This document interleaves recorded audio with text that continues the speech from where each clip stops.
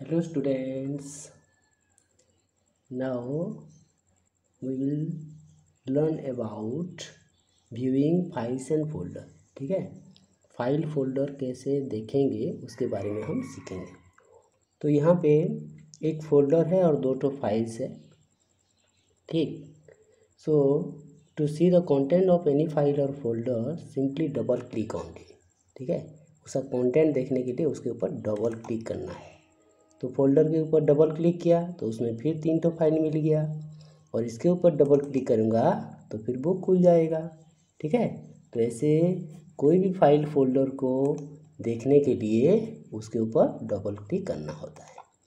अब और एक बात है, यहाँ पे जो सब दिख रहा है फ़ाइल या फोल्डर, उसको देखने के लिए उसका व्यू बटन में भी जा सकते हैं।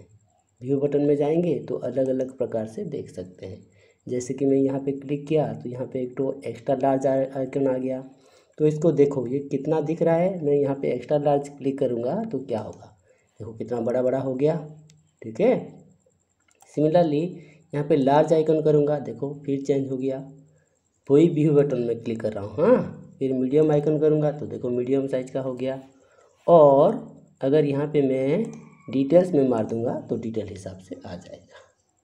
गॉट इट सो ये था हमारा व्यूइंग फाइल्स एंड फोल्डर्स के बारे में। Thank you